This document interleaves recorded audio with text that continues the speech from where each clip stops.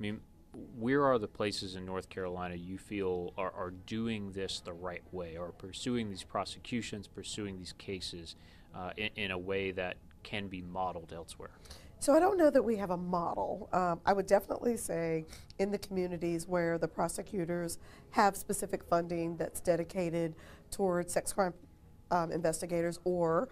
um, local law enforcement who have specialized sexual assault investigators, they definitely, I would say, have a more comprehensive understanding of the complexities of sexual violence and how one sexual violence may be very different from the other, that you can't paint them with a broad brush, which is, I think,